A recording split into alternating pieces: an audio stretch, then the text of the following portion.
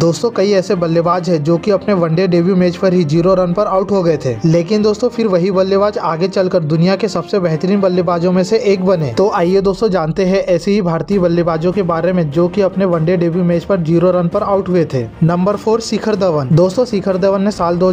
में ऑस्ट्रेलिया के खिलाफ अपना वनडे में डेब्यू किया था जिसमे वे बिना कोई रन बनाए दूसरी ही गेंद पर बोल्ड हो गए थे नंबर थ्री सुरेश रैना दोस्तों सुरेश रैना ने साल दो में श्रीलंका के खिलाफ अपना वनडे में डेब्यू किया था था जिसमें वे मुरलीधरन की दूसरा नहीं समझ पाए और जीरो रन पर आउट हो गए number two M S Dhoni दोस्तों एम एस धोनी ने साल 2004 में बांग्लादेश के खिलाफ अपना वनडे में डेब्यू किया था और इस मैच में एम एस धोनी तेजी से रन चुराने के चक्कर में जीरो रन पर ही रन आउट हो गए थे नंबर वन सचिन तेंदुलकर दोस्तों सचिन तेंदुलकर ने साल उन्नीस में पाकिस्तान के खिलाफ अपना वनडे में डेब्यू किया था जिसमें वे पांचवे नंबर पर बैटिंग करने आए थे लेकिन वकार यूनिस के एक गेंद पर बड़ा शॉट मारने के प्रयास में जीरो रन पर ही आउट हो गए